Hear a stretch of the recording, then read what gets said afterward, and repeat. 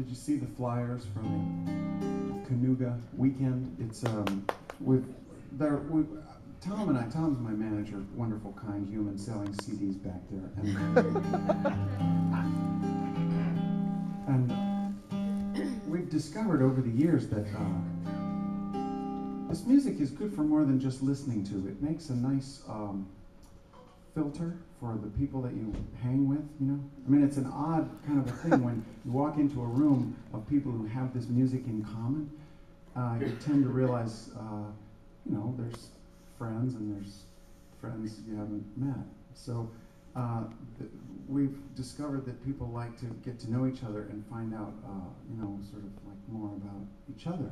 And so, yes, there's we've done cruises and had music and stuff, and we're to have this weekend with yeah, there's lots of music and workshops and stuff, but there's also just time to hang in a beautiful place. You know, there'll be hiking and mountain biking, and there's the river and the canoes and all that. But the um, the fun part uh, is always just joining in on all these conversations and. Uh, um, so uh, that's happening in May, May 20th, I think, 20th through the 23rd, something like